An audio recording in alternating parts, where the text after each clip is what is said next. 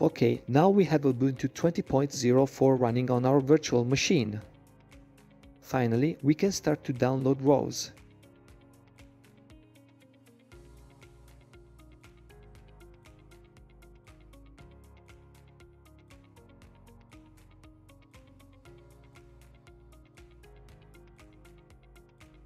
Let's open the browser and search ROS download and click on ROS installation. We have two distribution available, Melodic and Noetic. Let's select Noetic.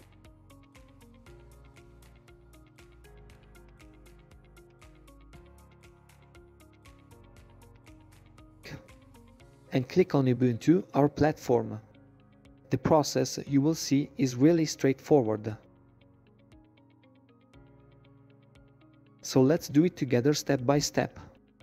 First of all, open your terminal.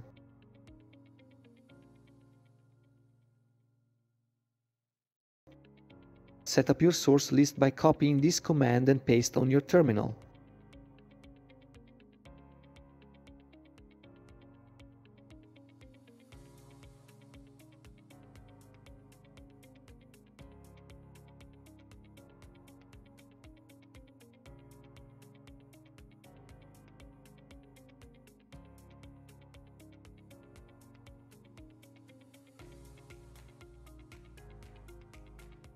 Install the curl.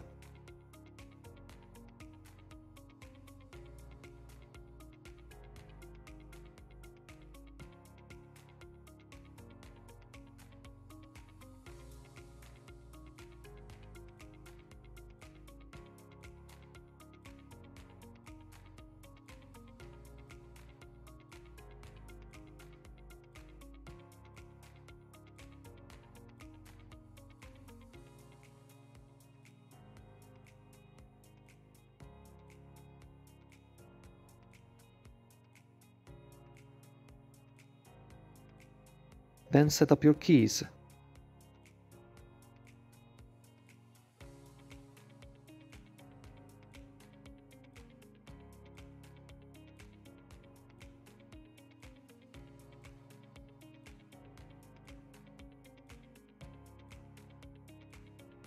After that, we are going to kick off the installation process. First update the system to make sure that your Debian package is updated.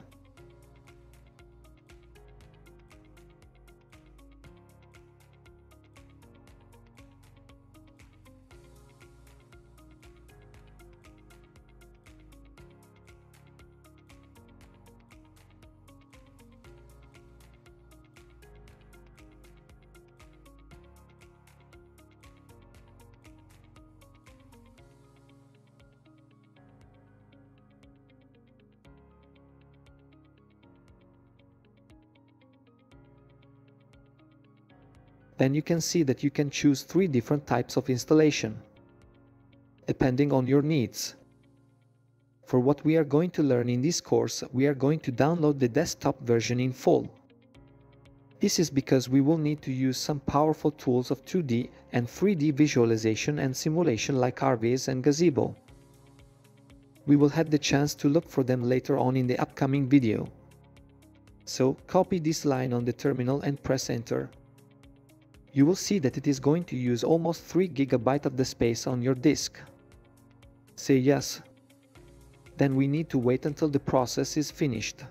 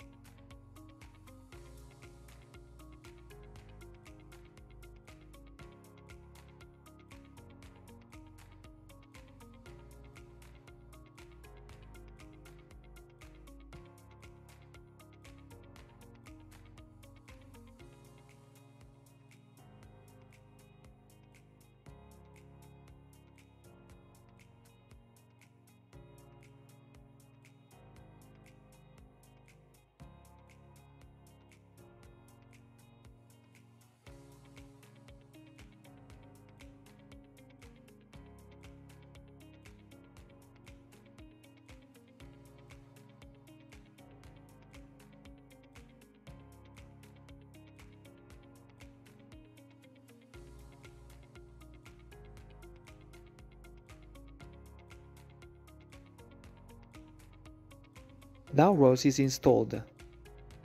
So now what next? The ROS installation consists of scripts and executables, which are mostly installed in the folder optros noetic. So we need to get access to these commands and script. To do that we should add ROS environment variables to the Ubuntu terminal. Every time that you open a terminal you need to source the optros noetic divided by setup.bash file. So type on your terminal source opt ROS noetic setup.bash. Now the terminal is sourced. To test it, ROS can run on this terminal. And to check it, let's initialize the ROS master. You can start the ROS master by typing on the terminal ROScore.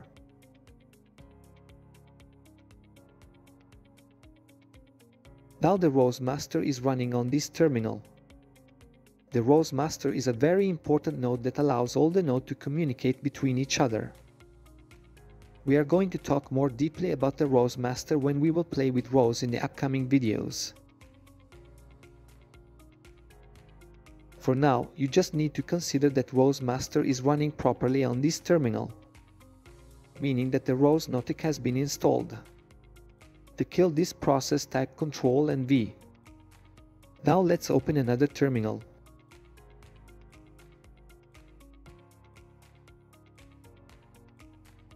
If we try to initialize the ROS master by typing ROScore on the terminal, it says that ROScore is not found.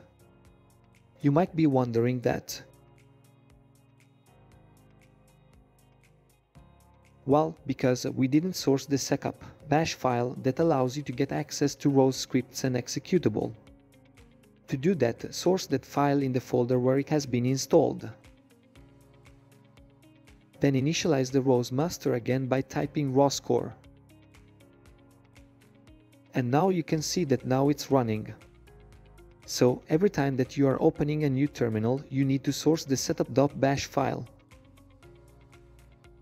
While operating ROS, you need to know that you are going to operate with multiple terminal at the same time. This procedure might bother you. So, in order to get the ROS environment in multiple terminals, we should add that command to the bashrc script. This file is a hide type and it is in the home folder. Let us copy and paste this command on terminal.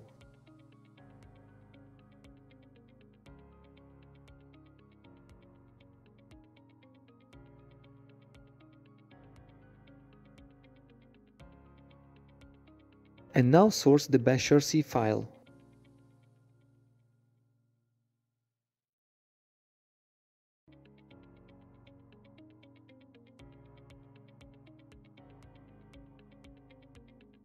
Let's check if the ROS master is running. Okay, everything is fine. So kill this terminal and open a new one.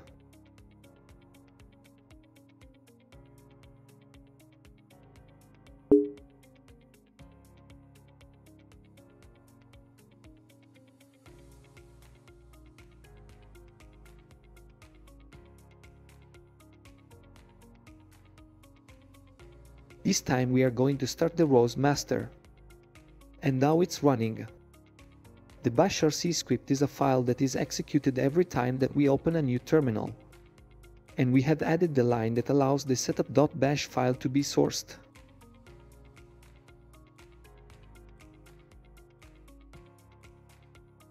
Last but not least we need to install ROS install that allows us to source trees for particular ROS packages. In particular, it is very useful because it will allow us to download external ROS packages in one command. This tool is based on Python 3, so install ROS install by typing this command.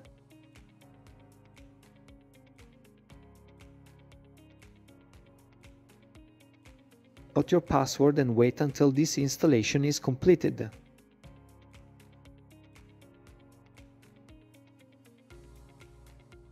Finally, install ROSDEP. ROSDEP allows you to easily install the dependencies that you would need when you are building your own packages and ones of others.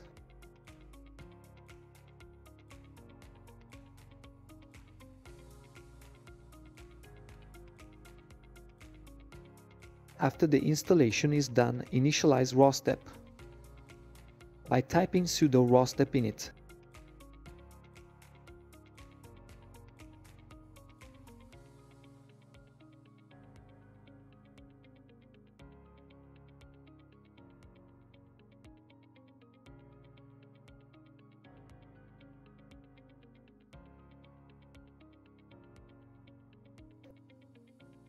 Then type ROSDEP update